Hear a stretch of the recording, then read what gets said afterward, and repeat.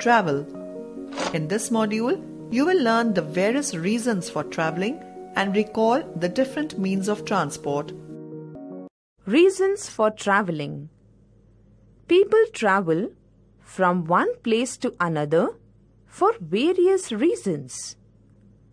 To fulfill their need, to go sightseeing, or get some fresh air. To go to their place of work. To go to the market to buy things. To go to other places in the neighborhood. To visit far off places during holidays.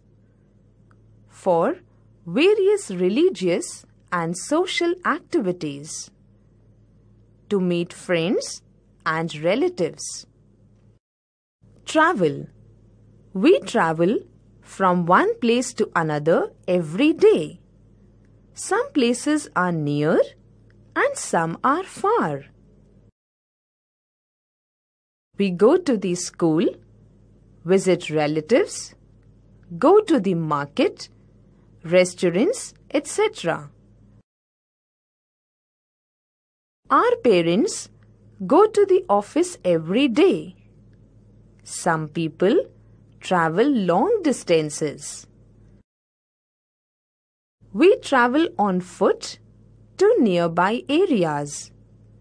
We use various types of vehicles to reach far off places. Means of transport Means of transport refer to various mechanical devices that transport people and goods from one place to another. There are a variety of such devices. They help us to move faster and cover long distances. Means of transport are divided into three categories land transport, water transport, air transport. We all use different means of transport according to our requirement, distance to be covered, and budget. Means of land transport. To travel short distances on land, we use rickshaws, bicycles, scooters, motorcycles, and cars. Buses are also used to cover long distances on road. We can also move goods from one place to another by road with the help of trucks. Railways Trains run on rails, so we call them railways. Hundreds of people can travel in one passenger train.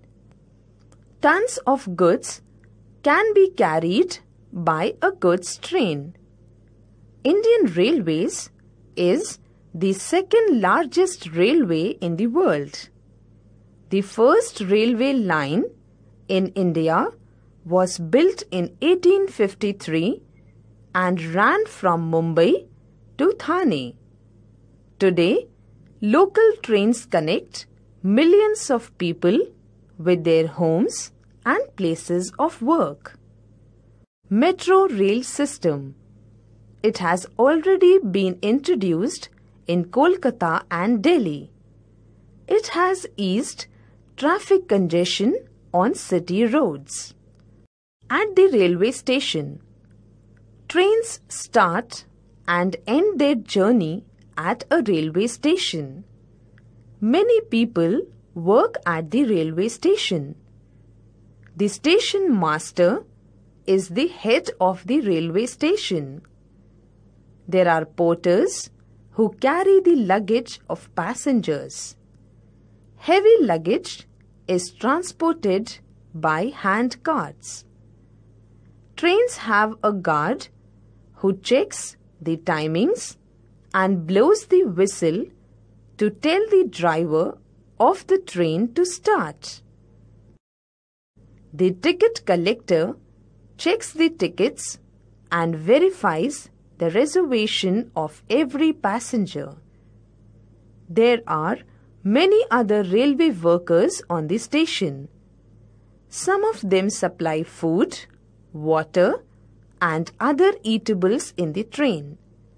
Some clean the toilets and wash basins. There are many stalls at the railway station selling refreshments, magazines, etc. Means of water transport. It is the oldest and the cheapest mode of transport. Yacht, speedboat, boat, ship and motor boat are means of water transport. Ships are used to carry heavy and bulky goods. Submarines move underwater. Water scooter is used for fun and sports. Water scooter is used for fun and sports. Means of air transport. It is the fastest and the most expensive means of transport. It covers long distances in a short time. We can reach far off places in a few hours. Aeroplane, helicopter, and hot air balloons are the means of air transport. Let's recap. People travel for different reasons and use different means of transport to travel according to the distance and their budget. Means of transport can be divided into three categories land, air, and water transport.